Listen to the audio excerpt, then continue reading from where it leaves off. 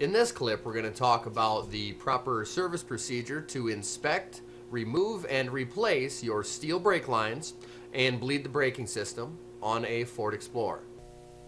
In this step, we're going to talk about removal and replacement of our left rear brake line.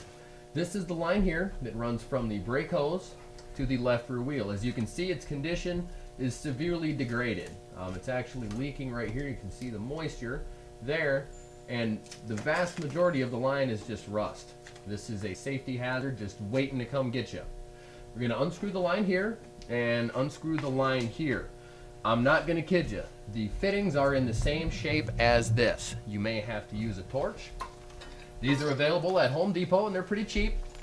You'll spend 30 bucks for one and they last forever. You will have to buy oxygen and MAP gas or propane as well. These cylinders are about $7 a piece they last a pretty decent amount of time.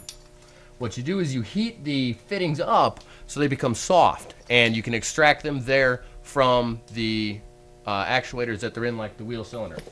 I'm going to just show you that right now. They make tools called line wrenches for fitting over the line and gripping a hold of that fitting and unscrewing it. They're only good for when you're going to reuse the same line. If you're going to replace the broken line, it's a lot faster to cut it and pound a socket onto that fitting and take it out with a six point socket. You'll have a much better time at that. i take my dikes and cut the line. Right there.